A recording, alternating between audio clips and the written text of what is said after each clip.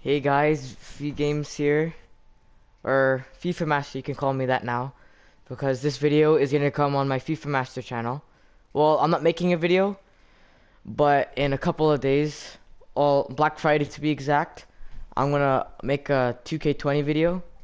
The reason why I'm not um uploading a lot, it's been a long time, man, it's been a really long time since I've uploaded a video, but um. I'm gonna upload, start uploading on Black Friday. That's probably like the best day to do it.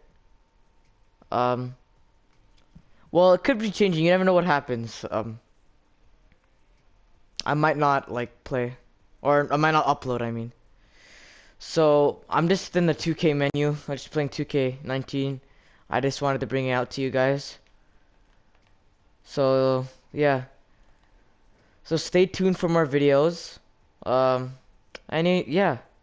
Peace.